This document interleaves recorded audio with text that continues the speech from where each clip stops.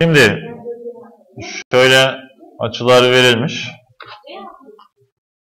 Hayır. Şimdi açılar verilmiş. Şurada eşit olan açılar var, açı ortaylar. Biz bunlara isim verebiliriz. X ve Y kullanılmış, A, B kullanılmış. Şuraya A diyorum. Bu da A. Buraya B diyorum. Burası da B. Şimdi burada iki ayrı zikzak var aslında. Biz şu taraftaki kesik çizgilerden oluşmuş olan zikzağı kullanabiliriz. Şunu hiç görmeyeceğiz. Burası sanki yokmuş gibi hareket edeceğiz. Yani şunu, bunu sanki yokmuş gibi hareket edeceğiz başlangıçta. Zikzağımız şu. Şöyle geliyor, böyle, sonra böyle devam ediyor.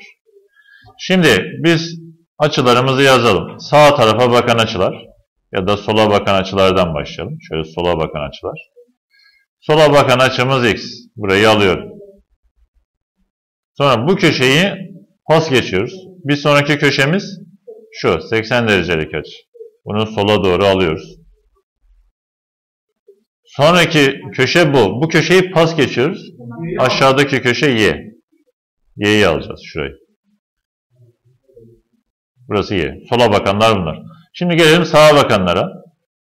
Şöyle onu da şununla gösterelim. Şöyle. Şimdi biz x'i sola almıştık. Bir sonraki köşeden başlayacağız sağa almaya. Sağa bakan açı A. Biz şu kesiklerle oluşan açılara bakıyorduk. Bizim açımız A. Sonraki köşeyi pas geçiyoruz. Bir sonraki köşe şu aradaki açı B.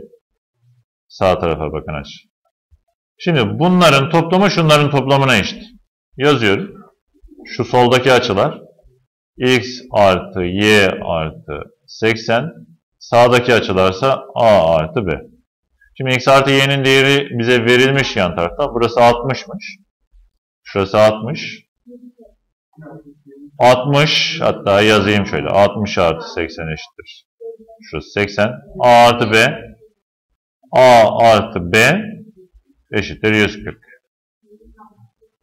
Şimdi bunu kullanacağız. Şurayı siliyorum. Az önce karalamıştık. Şurayı siliyorum.